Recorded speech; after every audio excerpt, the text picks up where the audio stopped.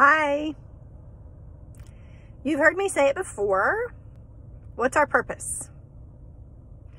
Is it to bring God, God glory?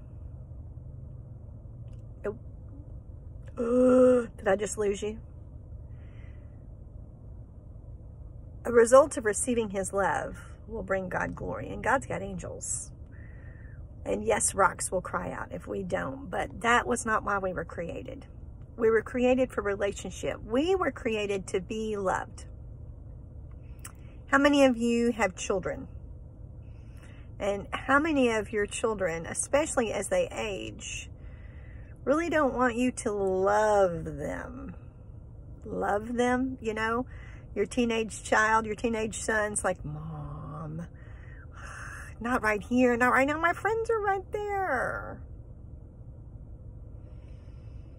How many of you have cats?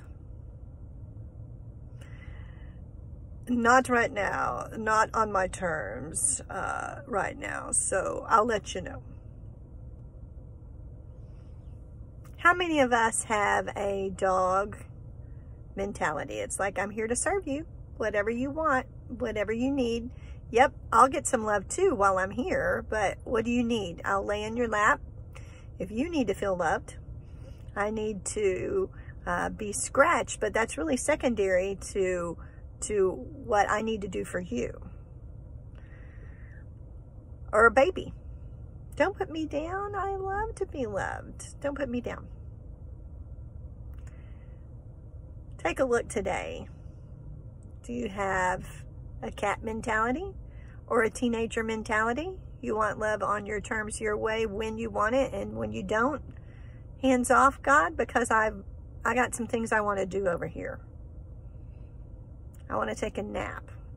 I want to go hang out with my friends. I don't want to do this right now. Or how many of you are like the baby?